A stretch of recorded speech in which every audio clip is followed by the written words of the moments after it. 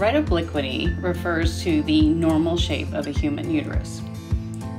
All uteruses are shaped slightly differently, but the vast majority have these curves on the right and left side.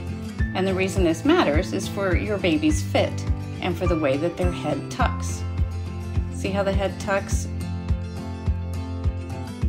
Now, if you're facing, if your back is to the right, then the head is extended and does not fit as well because the back is arched.